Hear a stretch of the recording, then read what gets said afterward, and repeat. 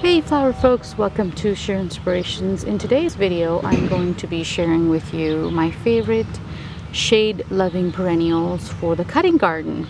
And number one, that's my favorite uh, that I recently added in the garden, is called Toad Lily. Now, these are beautiful um, spotted purple spots on white flowers, and the flowers are about the size of a quarter.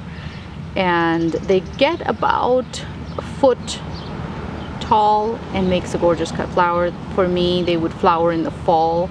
I believe that's the way they flowered in the rest of the country. I am um, in Southern California, high desert, and they're not fragrant. Um, as far as taking care of, I provide my tea and coffee grounds for it as fertilizer every other month. And it is in full shade. I have a pine tree above this, and as you can see, it is um, surrounded by other plants. I have iris and then I have uh, black-eyed Susan behind it. Um, the This is basically a part of a uh, thick, lush cutting garden forest type. So what I'm trying to do is the brutal hot sun um, won't have such a such a um, uh, bad effect like they would if they were just in under bare, bare um, sunlight instead of having a lush garden around it because it creates high humidity and it creates a microclimate on its own. However, if you just have shade and you don't have this foresty area, it will still do great for you. Um, places under the under trees is its preference.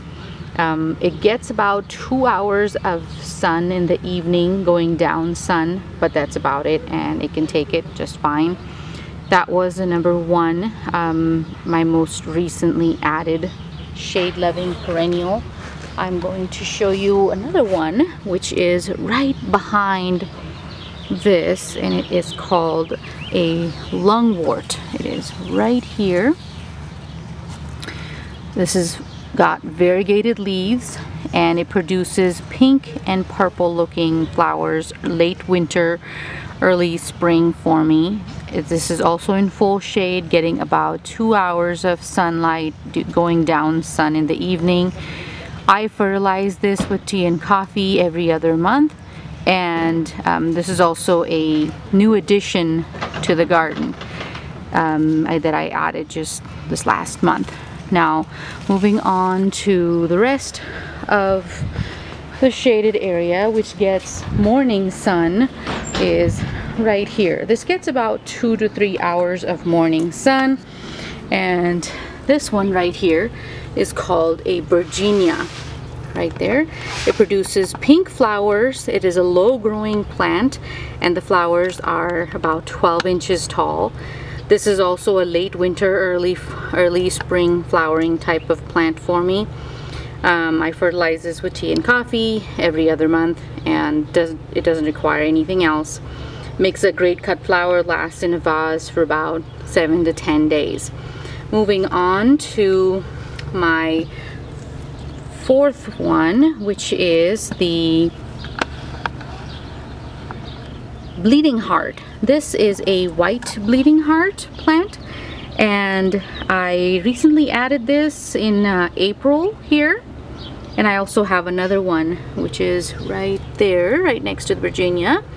And this one is red. And they should be flowering for me now but because they are just added to the garden this year I'm assuming that they're not going to flower this year and they're going to do it next year um, with the heat of the summer setting in they will go down to the ground Something very important to note on these is making sure you mark where they are because they will die down completely to the ground and re-emerge in fall, uh, providing flowers early spring and then all through the spring until it gets super hot. I, we are now in June and then in a couple of weeks we're going to start seeing uh, temperatures 95 and up and this plant is going to be calling it calling it the season um, and hopefully we'll have flowers next year. So this was a um, my fourth one that is a shade-loving perennial. Um, the fifth one I have to show you is uh, this calla lily or um, right here. you can see. This one is done for the season. Let me show you the little guys right here. Um, the baby, the babies right there. Uh, same thing, they are white ones and they grow very well in the shade. Love it. I fertilize with tea and coffee just like everything else.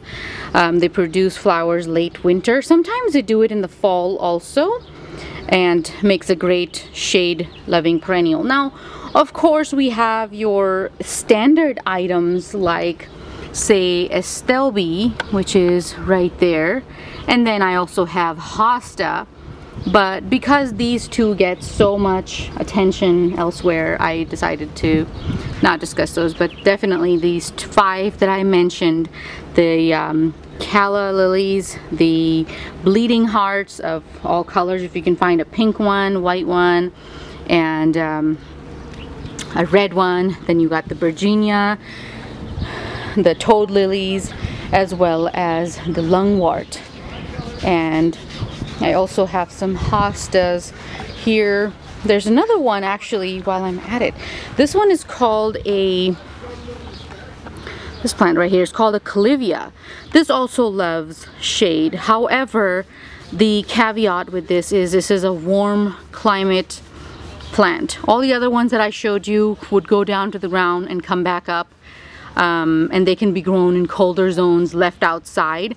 This one will not come back. If you are in zone 8 and beyond, you can leave it outside, but anything cooler, it will not survive. It will need to be pulled or put in a pot or um, something along those lines. It also makes a great cut flower. This produces orange flowers, very similar to the Star of Bethlehem or um, uh, Ornithogalum, I believe that's how it's pronounced. Um, makes a great long-lasting cut flowers if you live in a warmer area like I do and you can leave it outside definitely give this a shot so um, this was my favorite perennials for the shade garden with some extras that I shared. I hope you enjoyed the video and I will see you in the next one. Bye